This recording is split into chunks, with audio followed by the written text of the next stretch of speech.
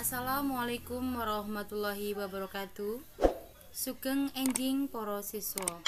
Kepanggih malih kalih kula Ibu Diana Trisuciasih SPDSD ing bahasa Jawi babagan pidato utawi sesora. Napa niku pidato utawi sesora? Yaiku ngandharake gagasan, panemu, informasi ana ing sengarepe wong akeh kanthi cara lisan.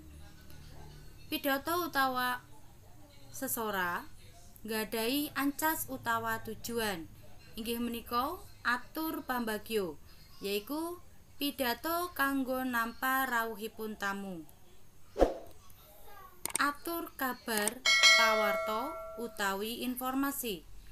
Atur kabar bisa awujud pelaporan utawa bab marang pamirsa supaya gamblang utawa cetha. Atur panglipur. Ancase supaya sing ngrungokake seneng atine. Pengajak utawa persuasif. Ancase ngajak kang ngrungokake supaya nindakake apa sing diandharake ing pidato. Perangane teks sesorah. Enten gangsal. Nggih menika salam pambuka. Purwaka basa utawa pambuka. Surasa basa utawa isi sesorah. Wasana basa utawa panutup. Salam panutup. Setunggal salam pambuka. Tuladhanipun Assalamualaikum. Sugeng enjing. Sugeng siang. Sugeng dalu. Kalih Purwaka basa utawa pembuka.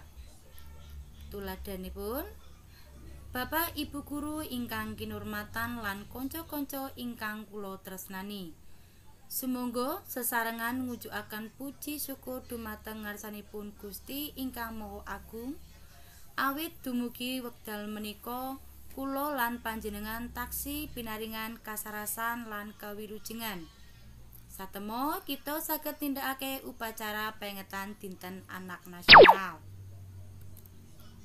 3 Surasa basa. Surasa basa sami kali isi sesorah utawi inti kang diundhake. Sekawan wasana basa utawa penutup.